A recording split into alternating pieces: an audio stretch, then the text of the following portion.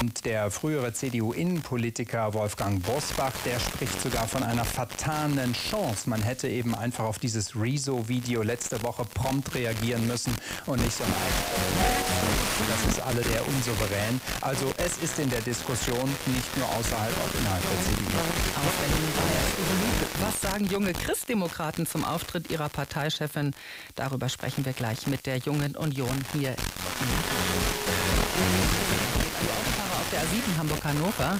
Da bitte Vorsicht, es hat einen Unfall gegeben zwischen Schwarmstedt und